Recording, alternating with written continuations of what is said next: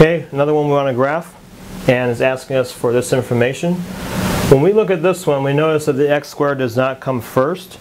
So later on, it's going to help if we make sure we have this written in the proper form because we need to use uh, the vertex formula later and also possibly the quadratic formula. So it's good to know what your A, B, and C are on this one. And you want to make sure that it's written in the proper form because otherwise you may accidentally put a 6 in there for A instead. So writing it in the proper form is always best first when they give you a problem that's not written uh, from highest to lowest power. So now that we know that, the first thing we need to find is going to be the vertex. So the vertex, uh, you're going to use negative b over 2a. So again, that's why it's important to have this written in the proper form. So first, uh, for your vertex, you're going to do x is equal to negative b over 2a. So in this case, the b is negative 4. So we do negative times negative 4 over 2 times a, in this case 2 times 1. And that gives us uh, just 2. You want to find the y value also, so 2 has to go back into, now in this case you could use either one, but I'll just use the second one uh, for all the work I'm going to be doing here. So y equals 2 squared minus 4 times 2 plus 6. And that's going to give us 4 minus 8, negative 4 uh, plus 6 is going to be positive 2. So now I know that my vertex is going to be 2, 2. My axis of symmetry, again, it's always x equals the x-coordinate of your vertex, so it's going to be x equals 2 for axis of symmetry. Okay, let's do the y-intercept. The y-intercept, you're going to make the x equal to 0. If you put that in here, you get 0 squared minus 4 times 0 plus 6, and that's going to give uh, 6. So that means that it crosses the y-intercept at 6. Now I want to do the x-intercept.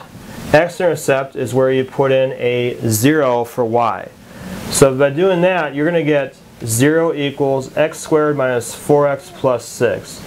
So you have a couple different ways of solving this. The first one we want to try and do is factoring. If I try and factor this, I'm looking for two numbers that multiply to make 6, but then add to be negative 4. Well, that's not going to happen. There's not two numbers that work. You either have 2 or 2 and 3 or 1 and 6. So if I can't factor it, then the next thing to do would be the quadratic formula. So quadratic formula, I want to make sure I know my a, b, and c. So again, it's important to make this in the proper form with the x squared that comes first. I have a is 1, my b is equal to negative 4, and my c is equal to 6. I'm going to put these into the quadratic formula. So I have negative b, negative times negative 4, plus or minus. I have b squared, so negative 4 squared minus 4 times AC. A is 1 and C is 6. All over 2 times A. So that's your quadratic formula right there. We want to simplify this down as much as possible. So I get 4 plus or minus the square root of, I get 16 minus 24 on the inside of that. That's going to give us negative 8. And on the bottom, the a value there, that should be a 1. So I have a 2 on the bottom.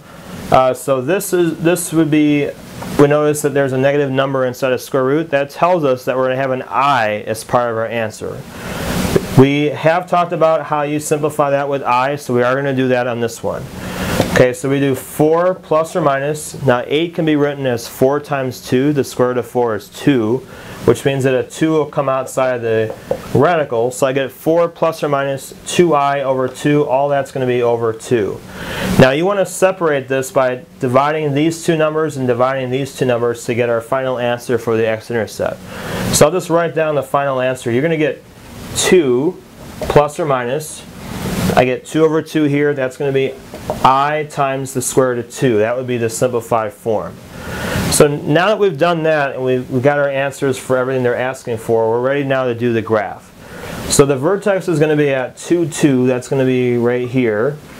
The y-intercept is going to be 6. So it's going to cross here. And so now what about this one? The x-intercept is going to be 2 plus or minus i squared root of 2. So the question is, are we going to see this on the graph? Well, the answer to that is going to be no. And we know that because we have a 1 in front of the x squared. So if you have a, a, positive number in front of the x squared, that means the graph is going to be opening up. So because it does, the graph is opening up like this, that's going to tell us that the graph is not going to cross anywhere on the x-axis.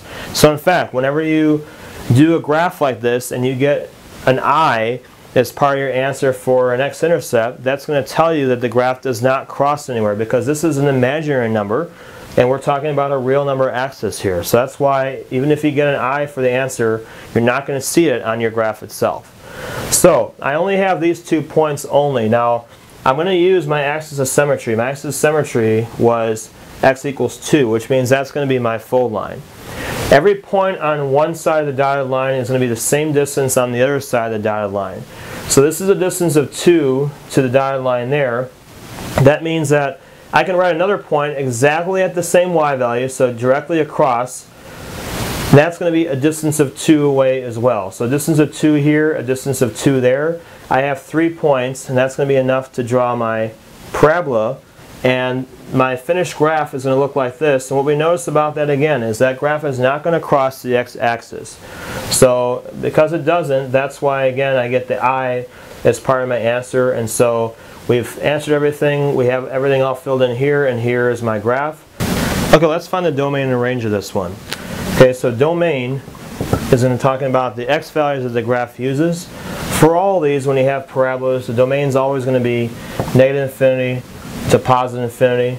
We can put, there's no restrictions on our x.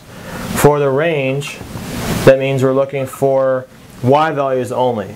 So for this one, the lowest on this point in this graph is going to be 2, and it's using only these values going above. So no part of the graph is used down below here. So your range is going to go from 2, and it's going to go to positive infinity.